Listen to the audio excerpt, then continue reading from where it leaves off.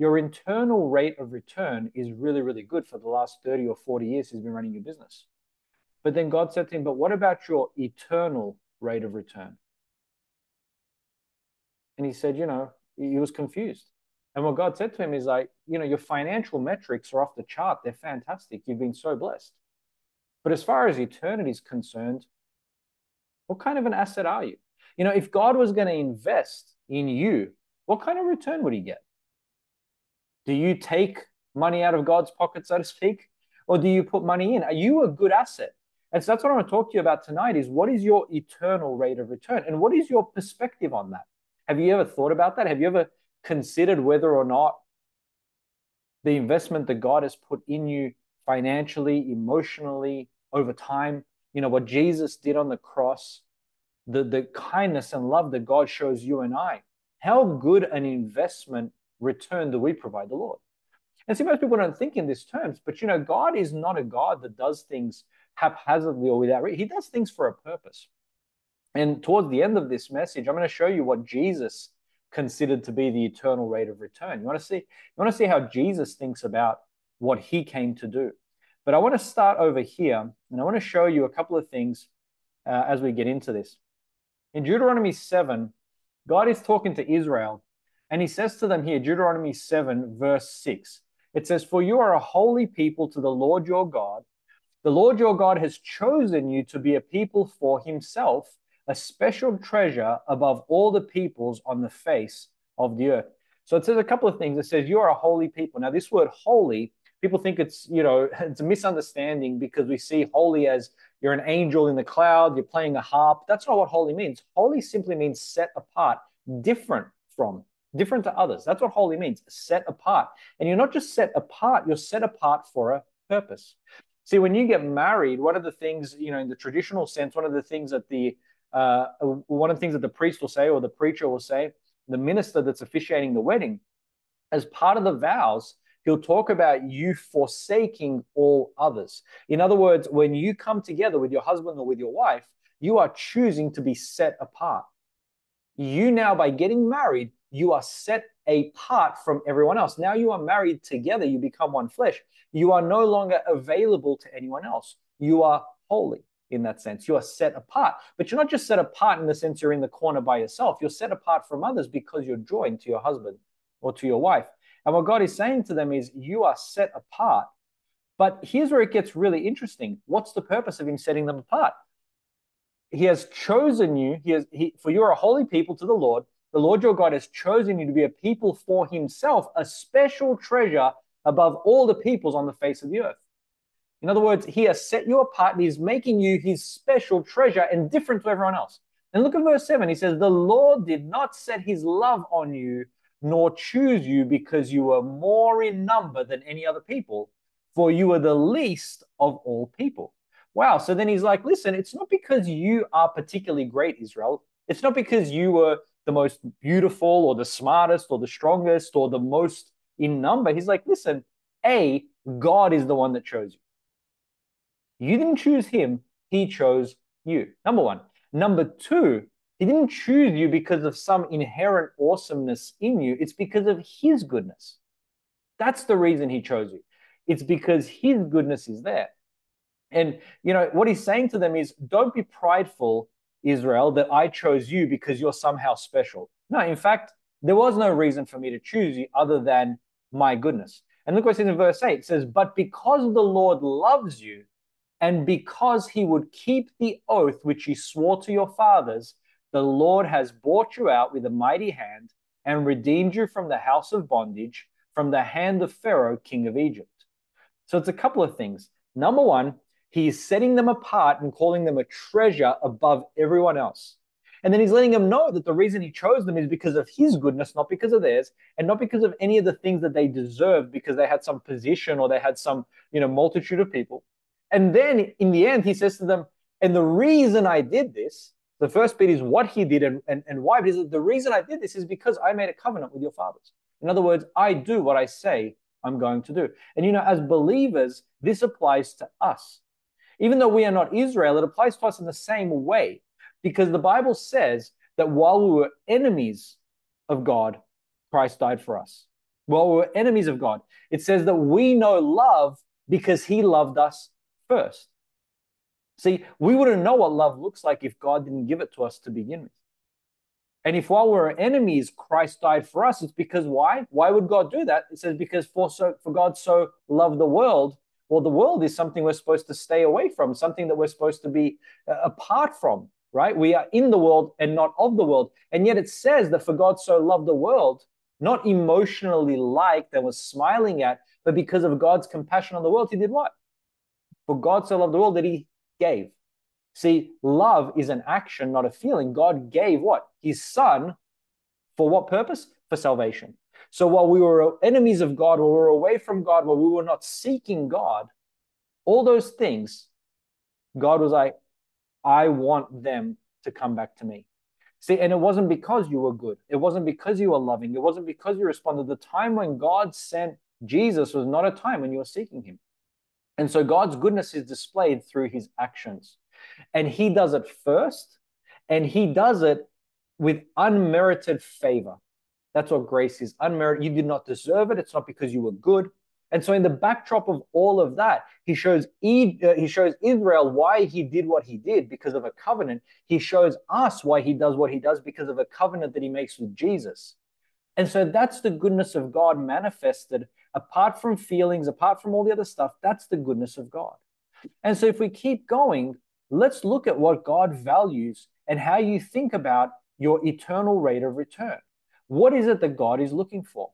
In 2 Chronicles 16, verse 7, there's a story here. I won't, I won't get in and read it, but just look at God's mindset, what he says to Israel. He says, at the time, verse 7, he says, At the time, uh, Hanani the seer came to Asa, king of Judah, and said to him, Because you have relied on the king of Syria and have not relied on the Lord your God, Therefore, the army of the king of Syria has escaped from your hand. In other words, he's saying, because you relied on flesh to achieve this objective and you didn't go to God, you've had a poor outcome.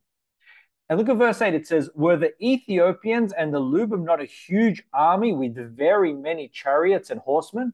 Yet because you relied on the Lord, he delivered them into your hand. So he's showing them that, listen, stop looking at your own strength and your own ability for the victory. The victory is going to come when you look at and focus on the Lord and you rely on the Lord to be the gap between what you can do in the flesh and what he can do by his spirit.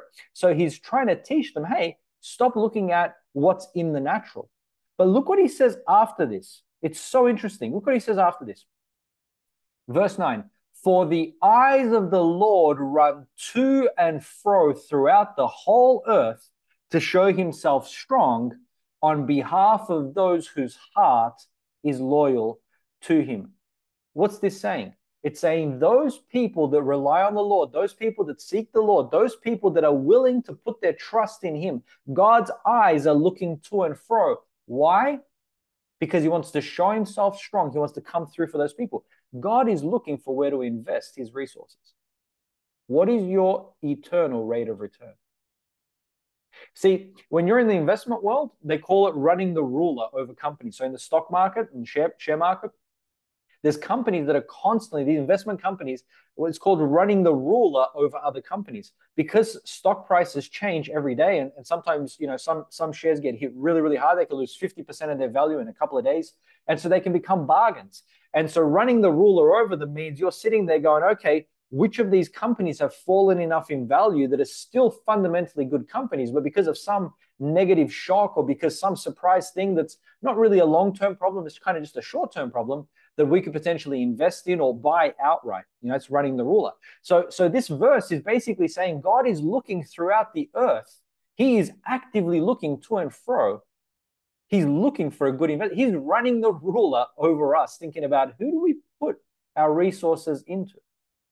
And so, how attractive an investment are you for the Lord? See, because we've all been given eternal life, those of us that have turned to the Lord. So, the baseline investment has already been made.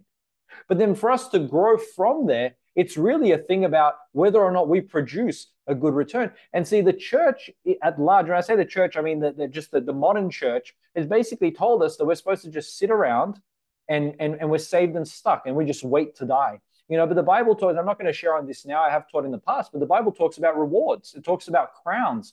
It talks about being given uh, almost a degree of, of, of reward or compensation for what you've done. See, we don't think about those things. But the question is, is does the Lord care about what we do between now and when we go to be with Him?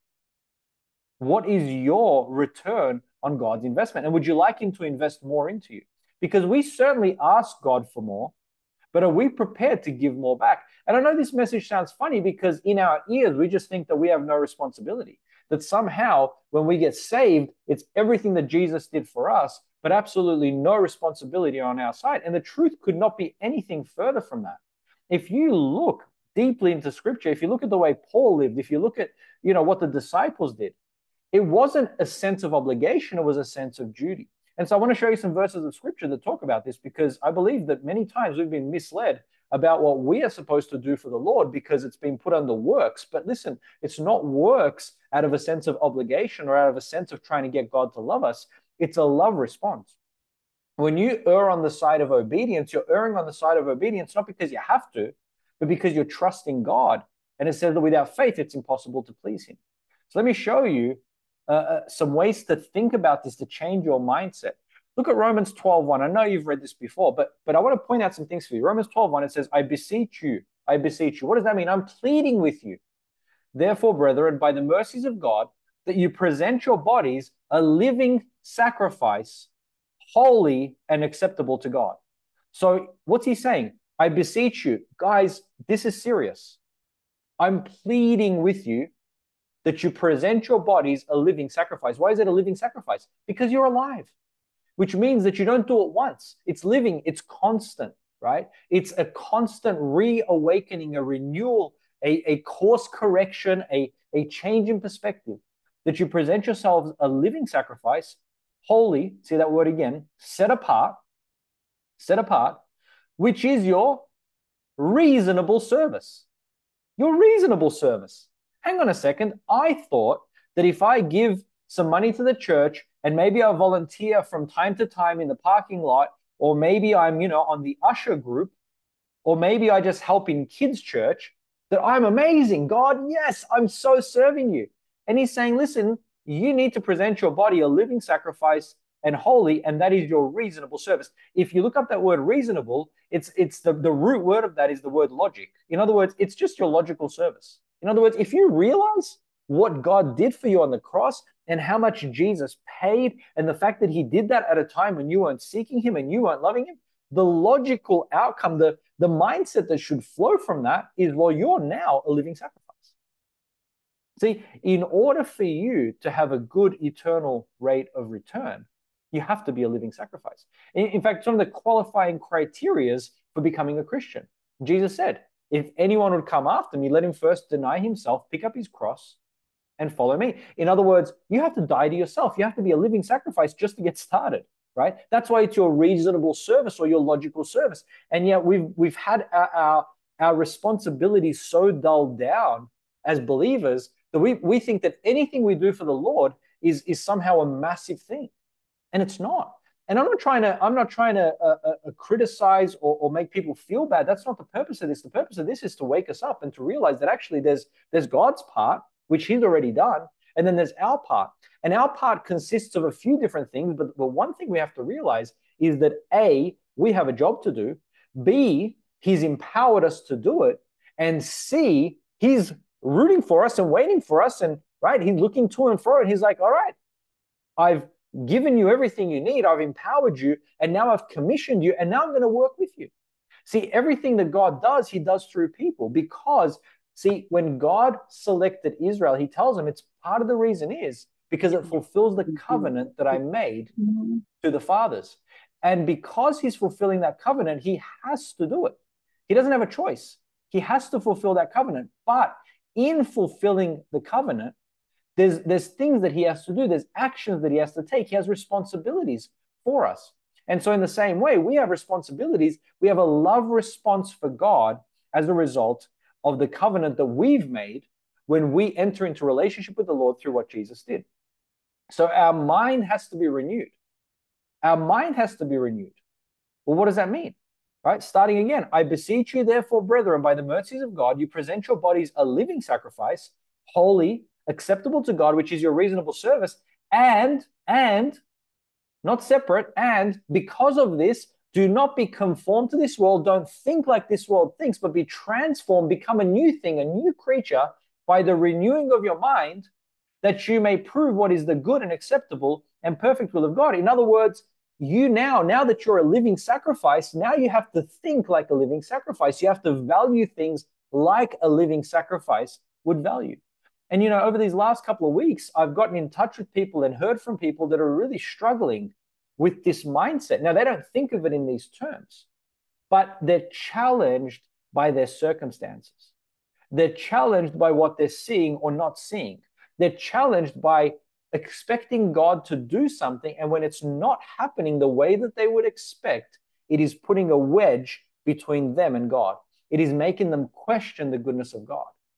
And what that shows you, when, when a circumstance gets between you and God, it tells you that the reason that you were in it was never for God. It wasn't because your great love for Him, it's because of what He could do for you. Now, I'm not saying that you can't have expectations, that you can't have hope. I mean, you should have those things that you you believe that God's going to come through. But you shouldn't hang your relationship with God on whether or not a prayer gets answered in your timing or in your way. See, we've made it very much a transactional relationship where we say, Well, God, I'll follow you as long as things are going good. And when things aren't going good, well, where are you? It's exactly what the disciples said in the boat. You know, when Jesus is sleeping in the midst of the storm, and he, he, they come to him and go, Don't you care that we perish? What kind of a rude insult is that? It's the God of the universe. Don't you care that we perish? Of course he cares. He's, he's, he's about to sacrifice himself for all mankind. Yeah, he cares that you perish, but guess what? You're not perishing. But see, in their mind, if they weren't safe, they didn't care about Jesus. They they wanted to be safe. And so oftentimes when we renew our mind, we start to see with the eyes that God sees with. We start to value things with God's value. And so being a living sacrifice means also being willing to change your value system. See, the way that we would measure success in the life of a Christian may be very different to the way that God would measure. And so for, for us, as we are as we are gauging our eternal rate of return to the Lord, we have to change what we value. We have to change the way that we see things. Our eye has to change and has to see things the way that the Lord sees it. Let me show you something in Luke 17. It's interesting. Luke 17, verse 1, he's talking to the disciples. He says, Then he said to the disciples, Jesus speaking, It is impossible that no offenses should come, but woe to him through whom they do come. In other words, he's saying, Look, people are going to get offended, but don't let you be the one that, that causes the offense. Verse 2 It would be better for him if a millstone was hung around his neck and he was thrown into the sea than that he should offend one of these little ones. Take heed to yourselves. If your brother sins against you, rebuke him, and if he repents, forgive him. And if he sins against you seven times in a day, and seven times in a day returns to you saying, I repent, you shall forgive him. And the apostle said to the Lord, Increase our faith. What's he saying?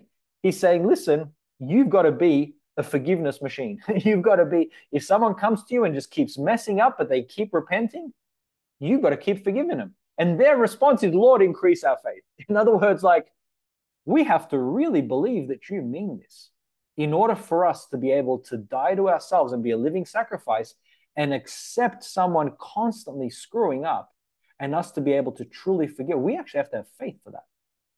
See, forgiveness is not an act of your feelings, it's an act of your will. But see, if you're a living sacrifice, you don't mind forgiving over and over and over. But if you're not a living sacrifice, then it'll bother you. And this is something that is challenging. Like I struggle to see people make the same mistakes over and over again, especially when you've told them, because they suffer and they also make you suffer. And you just think, why? If you would just not do that thing, it wouldn't be so bad.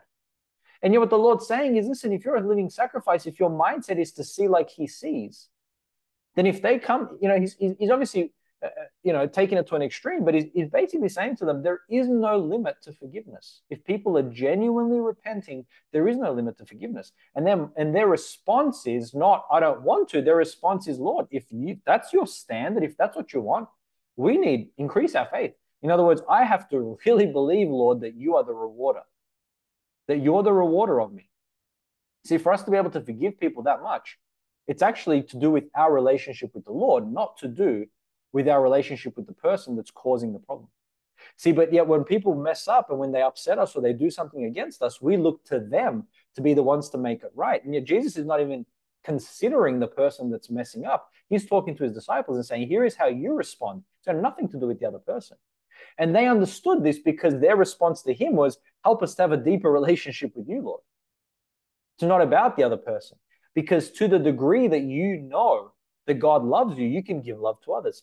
You know, Jesus talks about that parable and he says, he says, He who has been forgiven much loves much. In other words, when you recognize how good God has been in your life, then you're willing to extend that goodness to others. And that's what these disciples are saying. They understood by what Jesus told them that if they're going to actually have relationship with him and live and walk this out, it's really a, a testament to the relationship they have with God. And then look at this. This is this is key, right? Watch what Jesus says after this. Verse 6. So the Lord said, If you have faith as a mustard seed, you can say to this mulberry tree, Be pulled up by the roots and be planted in the sea, and it would obey you. So what's he what's he making the object of? See, they said, increase our faith. And then he says to them, if you have faith as a mustard seed. In other words, they're asking for more faith. And he's saying, you don't need a lot of faith. It's not about having additional faith. He's just saying, if you use the faith that you have, there's supernatural power in that. In other words, he's telling them, don't use faith as an excuse or, or lack of faith as an excuse for not forgiving your brother. And then look what he says. This is this kills me when I've read this. It's just it's such a different perspective, right? Verse 7. He says, and again, and you always got to see these conjunctions, and is always along with what he just said. And which of you, having a servant plowing or tending sheep, will say to him when he has come in from the field, Come at once and sit down to eat. He's contrasting now. He's saying, because he's talking about faith, right? But he's contrasting. He's saying, if you've got a servant and you've sent him out all day into the field and he's working hard, once that servant comes home, do you just say to him, hey, servant, you've done a great job, put your feet up? Right? In our society, we would say yes. But look what Jesus says, verse 8. But will he not rather say to him, Prepare something for my supper, and gird yourself and serve me till I have eaten and drunk, and afterward you will eat and drink? In other words, he's saying, even though the servant has worked hard all day and done all those things, no, he has to still continue to serve his master when he gets home. And then look at verse 9. Does he thank that servant because he did the things that were commanded him? I think not. What's Jesus saying? He's saying, listen, when the servant comes and does all those things, the master's not like, oh, thank you. You've worked so hard in the field and hey, you've served me and you haven't even eaten yet. Thank you. Jesus says, no. No. Why not? Why not? What he says. Verse 10 So likewise, you, when you have done all those things which you are commanded, say, We are unprofitable servants. We have done what was our duty to do. What do you mean? What do you mean? I think it's pretty clear. What Jesus is saying is listen, you have a job to do. When you do the things that you've been commanded to do, you're just doing what's required of you. See, people say, well, you know, I went to church on Sunday and then, you know, then I helped someone and then, you know, then then then I prayed that night and I listened to some worship music in the car. And then on Monday, you know, I gave five dollars to a homeless. Oh God, I'm so overextended in this department. It's like, it's your reasonable service. You're a living sacrifice. You belong to him. And see, it's a challenging message if you live for you. But it's a freeing message if you're willing to die to yourself because it allows you to start to see with God's perspective. Now, does that mean that God doesn't appreciate and value what, what you do? Not at all. In fact, that's why there's rewards. That's why he will say to you, Well done, good and faithful servant. Right? The reason why God rewards is because he knows the value of the labor. And he says, that a worker is worthy of his wages. But the point is, is we are not supposed to view what we do for the Lord as an exchange. We're not supposed to view it as something that we do in order to get something from God or to move God. We see it as something that we just do naturally. Like our kids, you know, every now and then our kids will forget that they're our kids. And they'll make this statement that's absurd, like, oh, when am I going to get whatever for doing that thing? And it's like, hang on a second. Like even with Joshua today, you know, we're talking about something. And uh, and I said, well, hang on, Joshua, did, did you eat today? It's like, yes. I'm like, you've got clothes, right? Like, yeah. I'm like, you're watching TV on, you know, there's electricity. He's like, yeah. Like, so all these things, where do you think this stuff comes from? you know, what do you? Because was asking me paid for something, you know, and I was like, you're not getting paid for that thing. You're part of our family. You have to do that thing. You see, but in his mind, he forgets that he has responsibilities and not just privileges. Right? Because his parents are good to him and because he lives a good life, he forgets that there's some things that he has to do as well. Now, of course, when he does those things, you know, he'll get a pat on the head and I'll go and encourage him. But it's like he hasn't done us a favor by, you know, making his bed or cleaning the dishes or whatever we've told him to do. That's his reasonable service. And the reason why I think this message is so important is because it's so countercultural and, and especially so counter church culture. See, in our culture, it's all about our rights. There's no responsibilities. You know, there's that, that there's that saying from America, you know, which is ask not what your country can do for you, but what you can do for your country. That doesn't mean anything anymore right? No one says, you know, ask what you can do for your church, but ask what your church can do for you. When you come to church, church is all about what it can do for you. When you're inviting your friends to church, what is what is what does the typical church tell you? Oh, tell them to come. You know, we've got great connect groups. We've got great coffee. You know, we're a friendly bunch of people. We're this, we're this. You know, here's all the reasons why people should come because they're going to be served.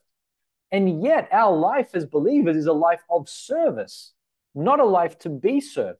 We've already been served because of what Jesus did on the cross. We've already been served by the, the way that we've been empowered by the Lord. We've been served already. Now, it doesn't mean that we can't pray and ask God to, to help us along or to do things for us. We can. There are places for that. But, but our life is not one of being served, it's a life of service. See, because we're not supposed to be Christians for us, we're supposed to be Christians for Him. Because Christian is just an imitator of Jesus. And because the church is so hung up on being liked and being accepted and, and being relevant, it's made the life of a Christian all about what we can get out of God rather than how much He can get out of us into this world. See, we are here to represent Him, not to represent ourselves. We are here to give Him a good return on His investment. We are here to give Him a good outcome for what He's put into us. See, because when God is knocking at your at the door of your heart and you open up and he comes in, there is nothing that he can't do through you if you'll allow him. But he can't do it until you are ready to give up what you want out of this life and to come to him for what he wants out of this life for you and through you. And because we've been told that we have no responsibility, no accountability, there's nothing in it. It's just God, you're here to love me and bless me, and you're here to serve me. And it's like, that's not at all what the disciples' view of it, what Jesus' view of it. And what Jesus is saying here in verse 9, he says, So likewise, you, when you've done all the things you are commanded, say, We are unprofitable servants, we have done what was our duty to do. In other words, when you obey what the Lord has told you to do, that's just the basics. That's a requirement. It's not special. You haven't done God a favor. And look what Paul says here in Timothy. He says uh, in, in uh, uh, 2 Timothy 4, verse 1, it says, I charge you. I charge you. Why? Because he's being saying, listen, focus on this. I charge you, therefore, before God and the Lord Jesus Christ, who will judge the living and the dead at his appearing and his kingdom, preach the word. Be ready in season and out of season. Convince, rebuke, exhort with all long suffering and teaching. In other words, what? Activity right? Activity. We're meant to be doing this stuff. We're meant to be doing this stuff with long suffering. In other words, sometimes it's going to be challenging. You know, sometimes, you know, when, when I'm sharing messages with people, the, the hardest thing is not sharing the word. The hardest thing is seeing people hear it and not apply it. And then seeing them struggle with things that the Lord wanted to show them, but because they're not willing to transform their mind, to change their perspective, they continue to suffer the same things. That's the toughest thing about sharing the word. It's not the the, the preparing of the message. It's not you know speaking it out. It's not those things. It's it's keeping your heart soft in saying, you know what, I'm gonna have to just share that again. Like you'll not believe, you know. Obviously, I've been doing this now with you guys for I don't know, probably two and a half years or something like that. There's a hundred and maybe 10, 15, 20 messages on YouTube. I've taught on so many things. And people that I know were in because I was looking at them the same way I'm looking at people right now. They were in that meeting. And they'll come back and go, I never knew that. I'm like, yes, you did, but you didn't apply it in your life. And that's why you're shocked now when this thing is happening. It's like the Lord, and this is the challenge going to be for us, brothers and sisters. When we get up to heaven, we'll say, say to the Lord, you know, why didn't you tell me that? Or I didn't know that. And then he'll be able to rewind, he'll go to YouTube and he'll click on the link and be like, that Thursday night, Rudy shared that, right? Now, I'm just joking, but you know what I'm saying? Like the Lord is giving you those things, but if you're not willing to shift off that where you are, then you're going to suffer for it. And that's the hardest thing for me, just as, as, as ministering to you, because I genuinely love you and care for you. I really do. And it's like, man, if you just get that, because it's not me speaking to you, it's the Lord speaking to you, it's the living word. And so I want to encourage you to get out of this mindset of being served by the Lord and into a mindset of, Lord, what can I do? How can I give you an eternal rate of return? Watch this, verse 3. Because he's telling them what? He's telling them, convince, rebuke, exhort with all long suffering and teach. In other words, help people to get this message. Verse 3 For the time will come. In other words, because here's what's going to happen for the time will come when they will not endure sound doctrine, but according to their own desires, because they have itching ears, they will heap up for themselves teachers, and they will turn their ears away from the truth and be turned aside to fables. In other words, what? Listen, right now, you guys need to go and spread this gospel, spread the work, rebuke, exhort. In other words, encourage, help them to change, help them to be to, to, to have the right word coming into them because there's going to become a time when they're not even going to listen to you. In fact, they're going to they're going to gravitate towards the ministers and the teachers that tell them exactly what they want to hear. And when they get those people in their lives that tell them those things, they're not even going to listen to the truth anymore. And that's where we are today. In the Christian context, if you try and share with people just biblical truth, like what I'm sharing tonight, most people will reject this. Why? because of what teachers have told them for decades.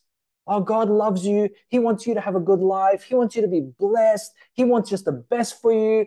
For I know the plans that I have for you, says the Lord. You know, all this stuff, right? And so we've just, we've, we've been told. Why? Why have we been told that?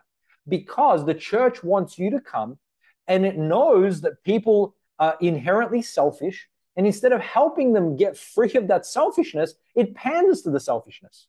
It tells them all the reasons why God is going to make their life better and why coming to church is going to serve them. And what it does is it stops them being a living sacrifice. See, when you become a living sacrifice, it's not about you and what you can get out of it, it's what you can do for others. See, love your God and love your neighbor as yourself has nothing to do with you.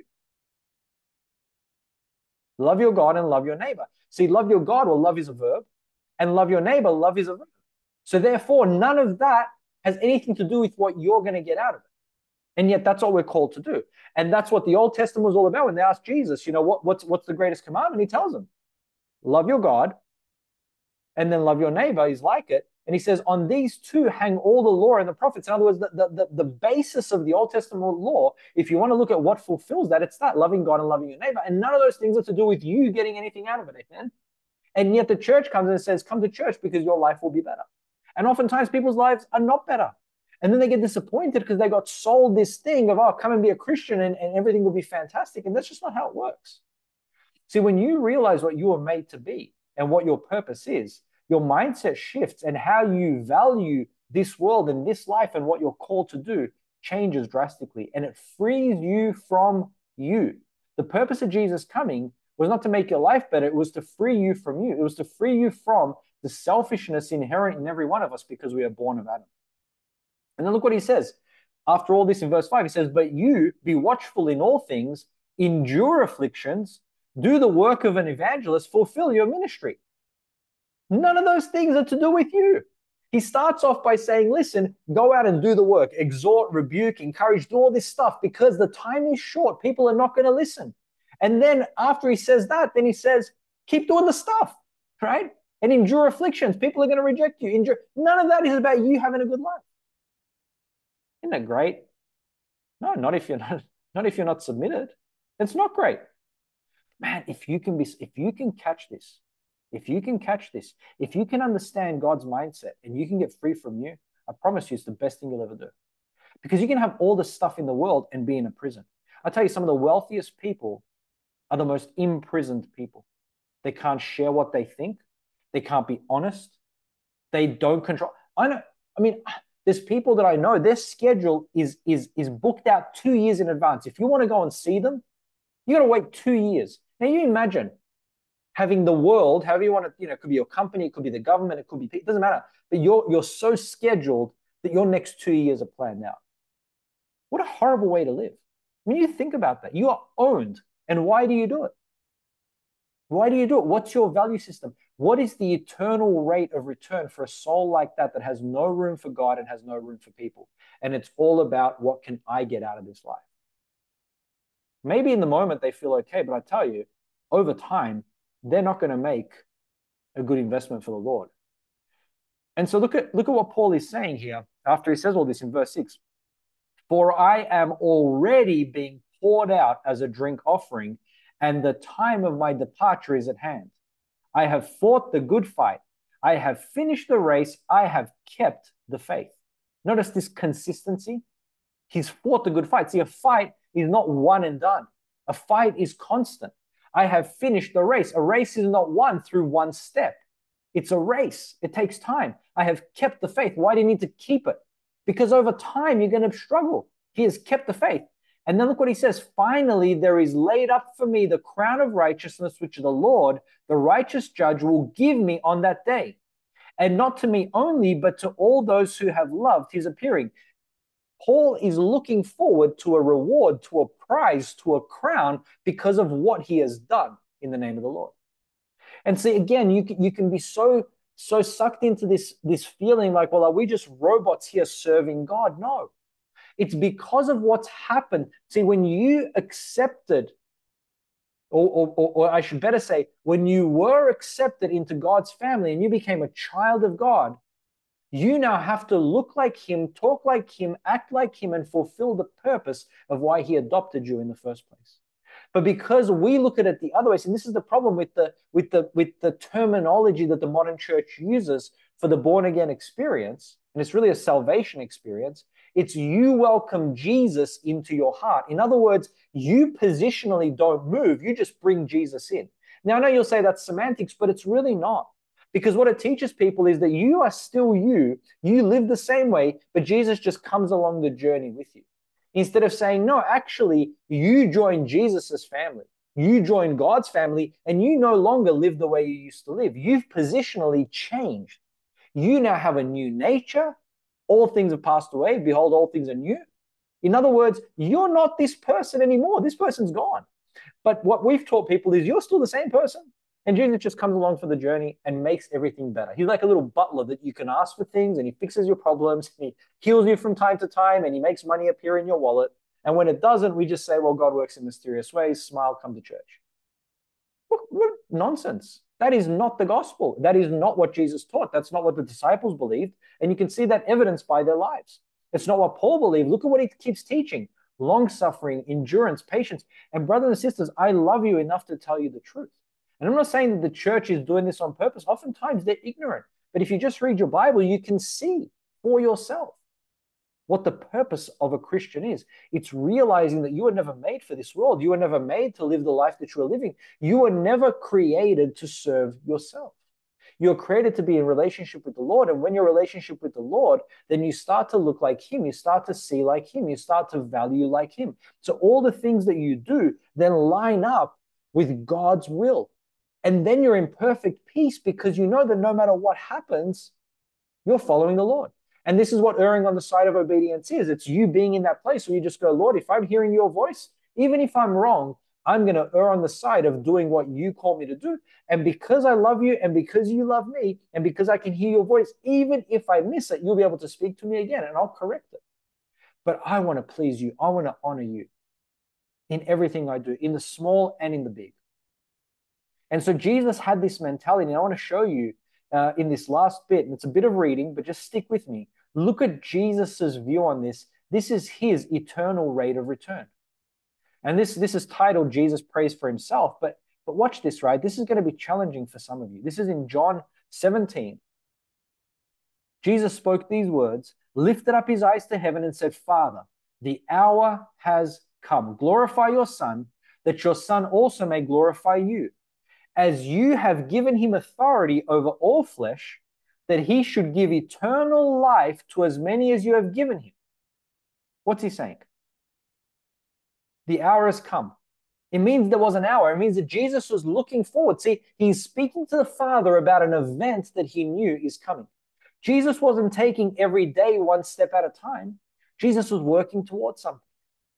And Jesus knew that he had been given something. What had he been given? He'd been given eternal life, and he then needs to give that eternal life to others. See, Jesus wasn't haphazard. He says, I only do what I see my Father do.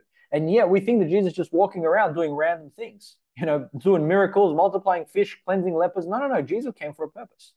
And he says here, this is so beautiful. If you watch this in John 17, he's sharing with the Father that he should give eternal life to as many as you've given in verse 3 and this is eternal life, that they may know you, the only true God, and Jesus Christ, whom you have sent. So he's saying that eternal life is not getting your prayers answered. Eternal life is knowing God and being in relationship with Him. That's eternal life. Eternal life's not going to heaven. You can have eternal life here on earth. That's what he says. He should give eternal life to as many as you've given him.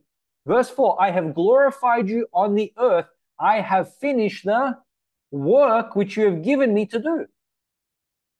And now, O Father, glorify me together with yourself with the glory which I had with you before the world was. What's Jesus saying? I have done the job that you've given me to do. What makes us think that if Jesus had a job to do, we don't have a job to do? What makes us think that if God had stuff for Jesus to do, that he's got nothing for us to do? Because the Bible talks about us following Jesus. It talks about doing the works that he did. It talks about, why do you call me Lord, Lord, and you not do the things I say? If you love me, keep my commandments. It's all this stuff about us responding to the teachings of Jesus and then going out and doing it. The Great Commission, we treat it as the Great Suggestion. It's not. The Great Commission is a commission. He's sending us out. It's an order. He even orders us to love, right? I mean, there's so many things that we've, we've taught on even the last few weeks.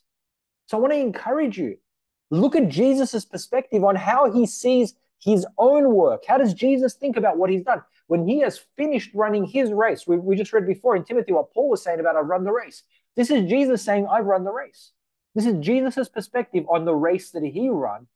And I know that sounds kind of funny because you think, well, Jesus was God. Yeah, but he was God in the flesh and he had a purpose. He had a reason for coming on the earth. And look what he says I've done the work. God, the job you gave me to do, the job description, I fulfilled it. And now, look at this, what he says, verse 5 And now, Father, glorify me together with yourself with the glory which I had before the world was. What you have to understand is that Jesus, when he came to earth, he shed his glory that he had as God and he equated himself with man. Yes, he was fully God in his spirit, but he was fully man in his flesh. And so Jesus actually submitted himself under God. He was less than in the sense of he didn't have his full glory. Yes, the Spirit was God's, but he, he submitted himself to the Father. That's why he prayed to God, even though he himself was God in the flesh. He submitted himself. And now what he's saying is, because of what I've done, Lord, because I have glorified you, because I have fulfilled what you've called me to do, now restore me to the glory that I had before. It's the reward for Jesus for a job well done. Crazy. Have you ever thought about that? We have a job to do, brothers and sisters, and you've been lied to. You've been told you've got nothing to do. And it's a lie of the enemy because the enemy knows that once you're free from you and you couple that with the power of God, you become like Jesus and you stomp hell for a living. You become the devil's worst nightmare. But if you think that you have nothing to do and you just hang out wait to die and hopefully get a couple of prayers answered, great. Everything Jesus came to do stops with you. Look at this in verse 6. I have manifested your name to the men whom you have given me out of the world. In other words, I did what you told me to do. They were yours. You gave them to me, and they have kept your word. Now they have known that all things which you have given me are from you, for I have given to them the words which you have given me, and they received them. And they have known surely that I came forth from you, and they believe that you have sent me. What did God do? God gave Jesus some resources, right? Human resources. And then Jesus did what?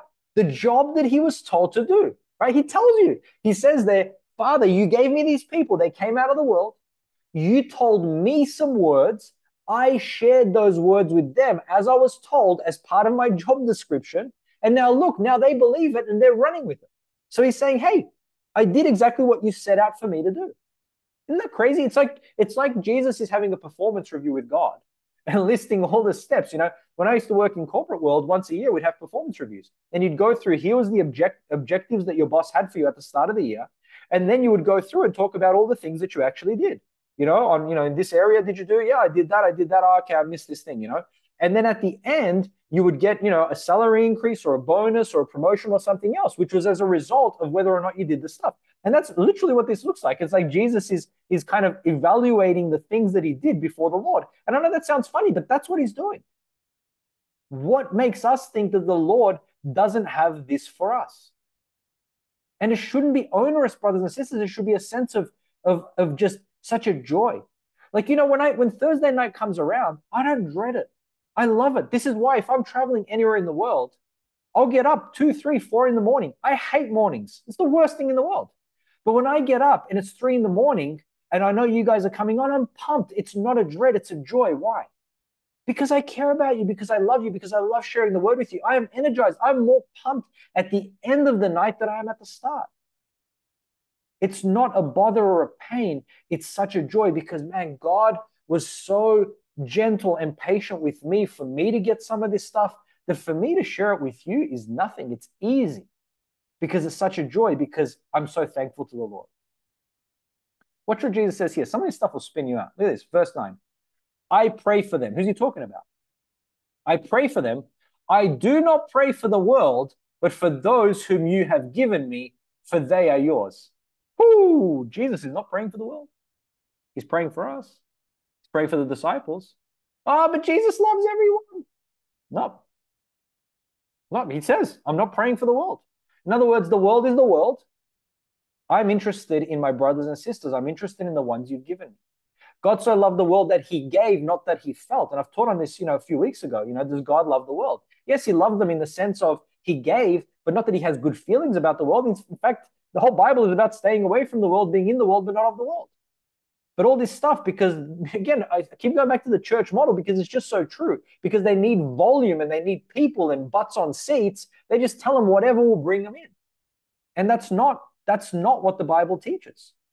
You can love people in the sense of doing the things that will help them, but not like what they do, and certainly don't go and be like them.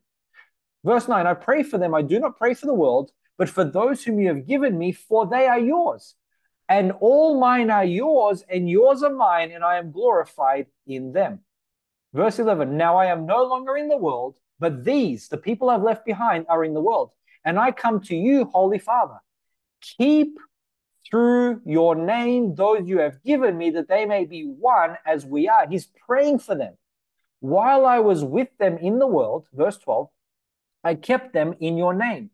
Those whom you gave me, I have kept and none of them is lost except the son of perdition, that the scripture might be fulfilled. In other words, everything that you set out for me, I have done, and I've done it correctly. I haven't lost one, except for one, but I can explain. what he's saying is the one that I lost, I lost because the scripture had to be fulfilled. In other words, it wasn't a mistake. Judas had to be fulfilled because it was foretold, it was one of the prophecies. So he's saying to God, listen, every single one that you gave me, I have done what you told me to do, and I fulfilled my calling. But now he's saying, listen, I'm leaving, Lord, and I still care about these people. He's praying for them. Verse 13, but now I come to you, and these things I speak in the world that they may be that they may that they may have my joy fulfilled in themselves. I have given them your word, and the world has hated them because they are not of the world, just as I am not of the world. I do not pray, watch this, I do not pray that you should take them out of the world, but that you should keep them from the evil one. In other words, we're all trying to escape. God, please, Lord Jesus, come. And what Jesus is saying, no, no, no. God, I, I don't want you to, I want you to leave them in the world, but I just want you to protect them from the enemy. Verse 16, they are not of the world, just as I am not of the world. Sanctify them by your truth. Your word is truth. As you have sent me into the world, look, I have, I also have sent them into the world. And for their sakes, I sanctify myself that they also may be sanctified by the truth. I should spend all night just teaching on this passage, but look what he's saying. He's saying, Lord, I'm leaving, look after them. I love them. And I don't want them leaving the world. I want them staying here. See, every Christian is praying for the second coming. Jesus, come, take us out. Why? Because we're selfish. And he's saying, stay here because you are what I've left over. If you don't represent me, people won't see God. The only time they're going to see God is in you and in me, brothers and sisters. And never, he's never going to he's never going to be able to do that through you and I unless we are submitted and a living sacrifice. Because then we're willing to do what God calls us to do when He calls us to do it, instead of saying, "I'm too busy. I've got my own life to." Jesus doesn't want you out of this world. He wants you in this world so people can see the goodness of God through you. Even the prayers that we pray are selfish prayers because we haven't understand the purpose of us being on this earth.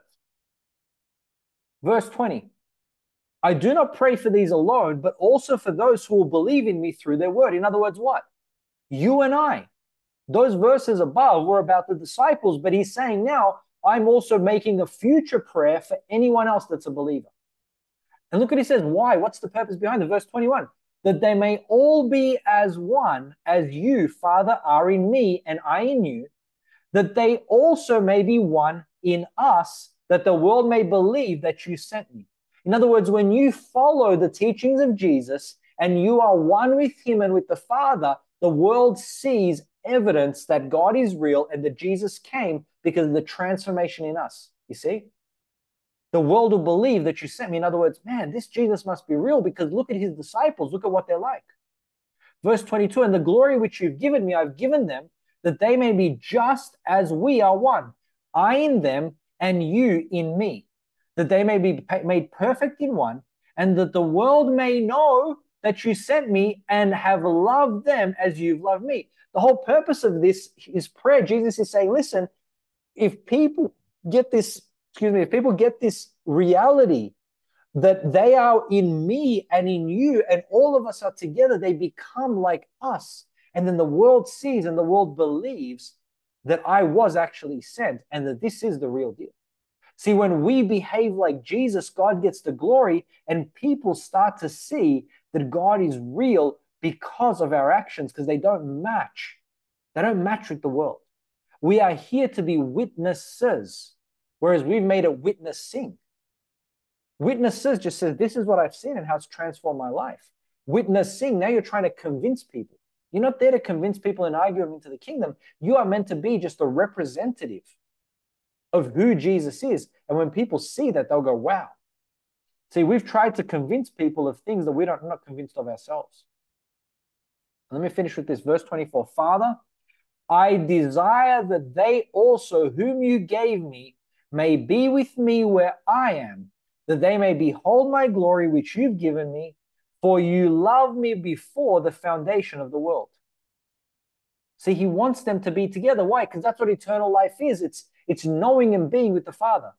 Father, I desire that they also, whom you gave me, who? You and I, brothers and sisters, the disciples, everyone that, that calls on the name of the Lord, may be with me where I am, that they may behold my glory, which you've given me, for you loved me before the foundation of the world. O righteous Father, the world has not known you, but I have known you. And these have known that you sent me. And I declared them to them your name and will declare it, that the love with which you loved me may be in them and I in them. In other words, the manifestation, the fullness of this is displayed in the love that Jesus showed us and then the love that we show him in return. But how do we show him love in return? If you love me, keep my commandments. You see, the things that we do in response to what Jesus has called us to do, that's love. That's us showing love back to God. What is it? It's sacrifice, it's obedience. It's it's erring on that side of God's voice. It's choosing to leave the house in the morning purposely being a blessing to others. It's saying, even though I don't want to do this right now, it's I'm going to do it, Lord, because you've done it for me. It's choosing to forgive when you don't want to forgive. It's choosing to be kind when that person doesn't deserve it. It's showing mercy. It's turning the other cheek. It's all the things that we've been talking about. It's being a representative of the Lord. Because when you realize that you belong in God's family, you automatically have eternal life. You have passed from death to life. And the reason you pass from death to life is because the life that you have is leading you to death. But the life that he has is leading you to eternal life. And that's why he says, Jesus says, he who seeks to save his life will lose it. He who chooses to live this way, to keep the same value system, to live for themselves, to have this mindset of this world, ultimately will lose his life, eternally speaking. But he who loses his life for my sake will find it. And so, your goal as a Christian, number one, is not all the stuff out there. It's getting a revelation of how much God loves you and what he did for you. And then going, all right, it is time to die. It is time to become a living sacrifice. And when you do that and you start to renew your mind and you see how he sees and you value how he values, then you're empowered to walk out this life and represent Jesus. And then you get the crown and then you get the reward and then you become the faithful servant that enters into the joy of the master. But up until that point, you're still living for you. And so your mindset has to be one of service because of gratitude, not because of obligation. It has to be of a transformed nature because you've been adopted into God's family and you just need to start to look like Him. And whilst it takes time to renew your mind and there's a journey to go on, the baseline of that is, Lord, I am here to serve you and to be submitted to you. And so, therefore, anything that I need to do from here onwards, I am doing as unto you. And whether I make it right or not, whether I screw up or not, whether I fall down along the way, and all of us do, and all of us will, because I've entered into the mindset that, Lord, I am in your family, then everything that I'm doing here onwards is in the pursuit and in the search of knowing you more and being more like you. And even when you trip up and fall along the way, God is so merciful and kind because he knows that it's a journey but we feel at peace because we realize that he's not looking at us like a, like a servant. He's looking at us like a son or like a daughter. And that's why Jesus said, I no longer call you servants. I call you my brothers. See, we are in this together with the Lord, and he's empowered us and he's given us everything we need to be able to walk this life out. But it starts with being submitted and realizing that we have a responsibility, we have a job to do. And if we're going to walk like Jesus walked, we have to evaluate what is our eternal rate of return. Amen.